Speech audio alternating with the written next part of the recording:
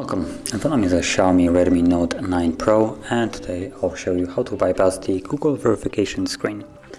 So as you can see the phone in front of me is locked and to start off the process go to your Wi-Fi connections and you will want to disconnect from Wi-Fi. There we go, so I'm gonna tap right here, scroll down and forget network, okay. And now we're gonna skip this and progress through the setup.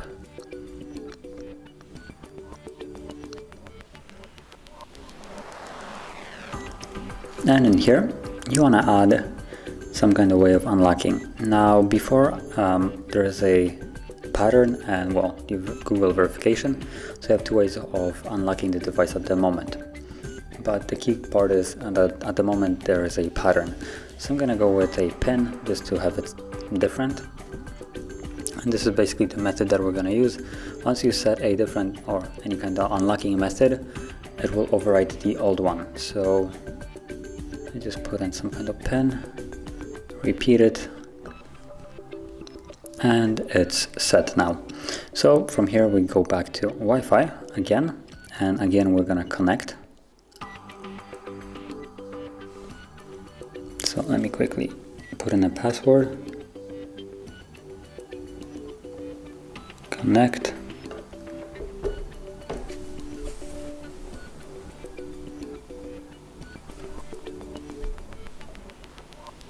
Oh, there we go.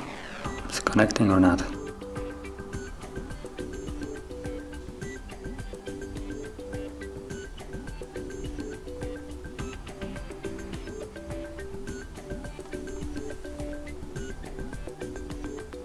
Give it a moment, it's having a little bit of problem for some reason.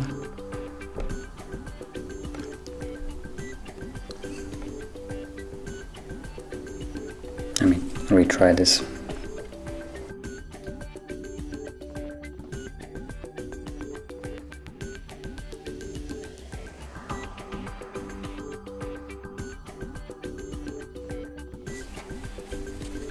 Okay, because this isn't working I'm just gonna create my own and try to connect to that one. There we go. It's now automatically connected. Not sure what happened there. Maybe there's no network now. Um, so once you progress further just select as we did before everything. Skip this step right here.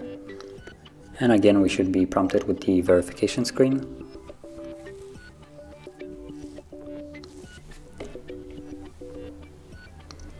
But the difference now is before there was a pattern, but now we can unlock it with the pin that we have set ourselves. So let's just confirm that pin that we have literally set a second ago and then tap on next and there we go. The device is now unlocked once it finishes loading of course.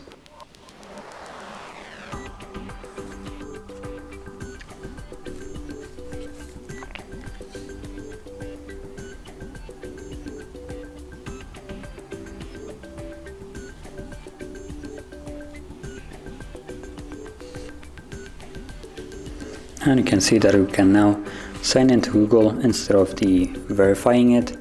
And this step can be completely skipped. Like I said the device is now unlocked. So I'm gonna quickly finish the entire setup of the device just so we can get access to the home screen and you can see that the method actually worked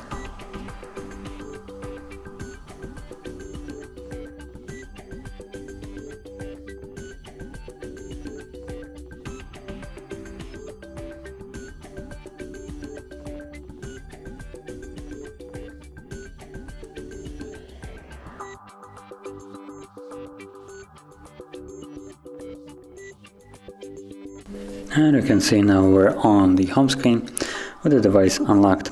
So if you found this very helpful, don't forget to hit like, subscribe, and thanks for watching.